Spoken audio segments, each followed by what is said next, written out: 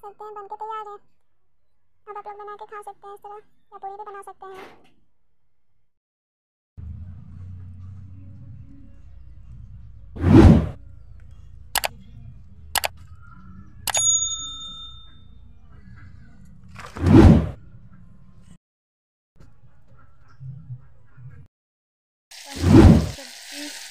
पालक की सब्ज़ी देखिए और जो पालक दिखाए थे, पीस लिए हैं।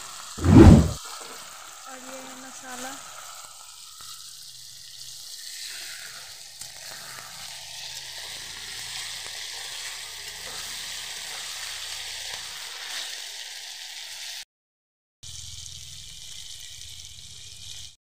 देखिए, पनीर फ्राई कर लिए हैं। अभी निकाल रहे हैं। देखिए, निकाल लिए हैं पनीर। प्याज।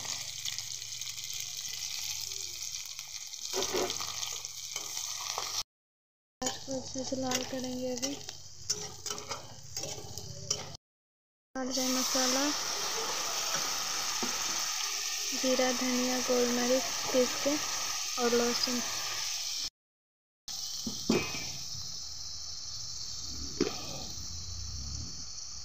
थोड़ी सी मिक्स मसाला। थोड़ी सी मिर्ची पाउडर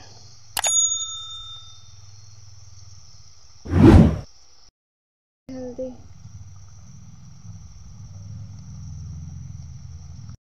से मिलाएँगे, मिला के फ्राई करेंगे अच्छे से।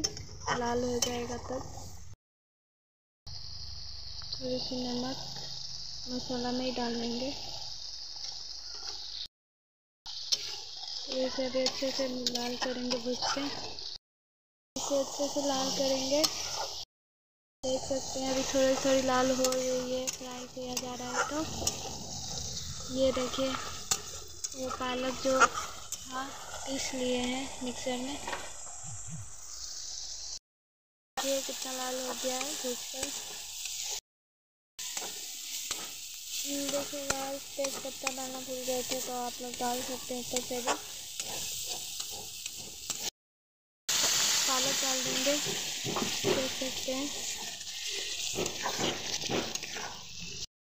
इसे अच्छे से मिक्स कर देंगे।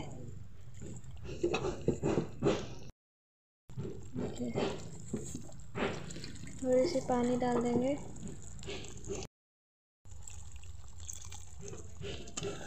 अब इसे अच्छे से मिला लेंगे